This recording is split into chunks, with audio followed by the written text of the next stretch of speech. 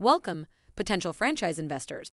Today, we're diving into item 23 of the franchise disclosure document, focusing on a crucial aspect of the franchise sales process. But before we begin, don't forget to check out our comprehensive guide to the FDD, available for free. You'll find the link in the description below. It's a valuable resource to accompany your franchise investment journey. Now, let's jump into item 23. When it comes to purchasing a franchise, adhering to federal franchise regulations is essential. And that's where item 23 of the franchise disclosure document, FDD, comes into play. Its purpose is to ensure that franchisee candidates receive proper acknowledgement and confirmation of the disclosure and delivery of the FDD.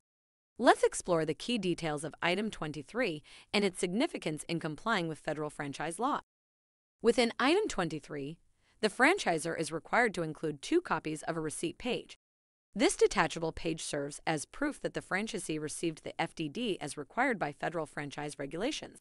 It's an essential document in the franchise sales process, providing transparency and protecting both the franchisor and the franchisee. The receipt page in item 23 begins with a prescribed preamble to ensure compliance with federal franchise law.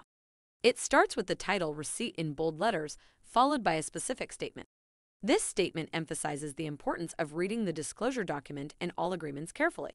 It also highlights the mandatory 14 calendar day disclosure period before signing any binding agreement or making a payment related to the franchise sale.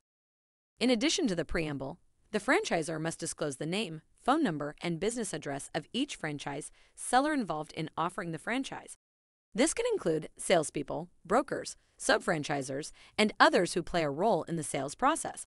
Remember, transparency is key, and including this information helps ensure an open and honest relationship between the franchisor and franchisee. Next, the receipt page must include a prescribed statement acknowledging the receipt of the FDD. It must state, I received a disclosure document dated, the date you received it, that included the following exhibits, followed by a list of the titles of all exhibits attached to the FDD. This ensures that the franchisee is aware of the included materials and can reference them as needed. To complete the receipt page, space is provided for the prospective franchisee's signature and signing date. This confirms their acknowledgement of receiving the FDDs and all associated exhibits. The franchisor may also provide instructions for returning the receipt page, such as email or mailing address details, or even an electronic method via a web page. And that wraps up item 23 Receipt and Disclosures.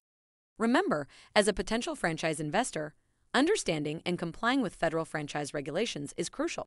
Take the time to review the receipt page and ensure you have received the necessary documents. And don't forget to explore our comprehensive guide to the FDD, available for free. The link is in the description below.